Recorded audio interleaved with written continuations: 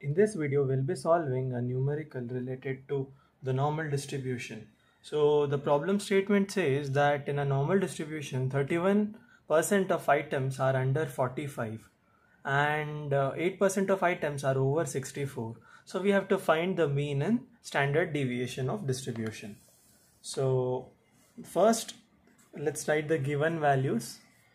That is P of X under 45 less than 45 gives 31% and P of X over 64 greater than 64 gives 8%.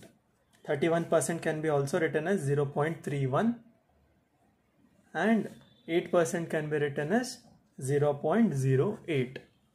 So yeah, we all know that for all values of x the standard uh, normal variate that is z is equal to x minus mu by sigma. Okay. So at x is equal to 45 we get z1 is equal to 45 minus mu by sigma. So this is our first equation. And at x is equal to 64 we get z2 is equal to 64 minus mu by sigma. This is our second equation. So uh, here we have given that p of x is less than 45. That means p of z is less than z1. That is equal to 0.31 from this given statement. This can also be written as p of z plus phi of z1 because here lesser than sign is used no? So we can add we can use plus addition addition symbol here 0.31 we know that p of z is equal to 0.5 plus phi of z1 is equal to 0.31 so phi of z1 uh, send 0.5 that side so phi of z1 would be minus 0.19 so using the uh, normal probability table or using the calci you can find out the phi value or the or you can find out the z value sorry. So yes 0.19 so check wherever 0.19 is there here. So 0.19 is here. 0.19 is here. So it comes under 0.500 so z value would be z1 would be 0.5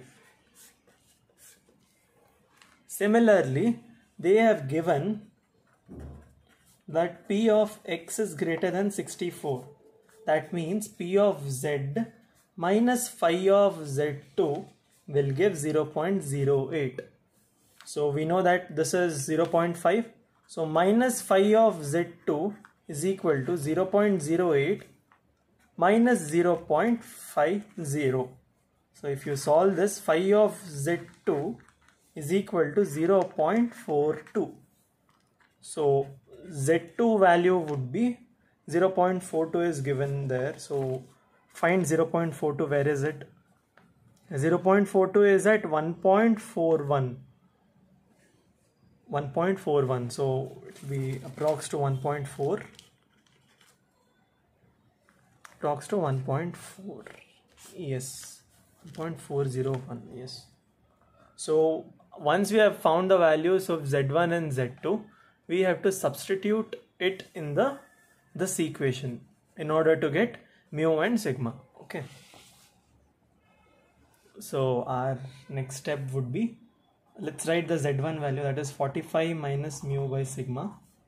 On the other hand z2 is equal to 64 minus mu by sigma. Z1 value we found it as 0.5 is equal to 45 minus mu by sigma.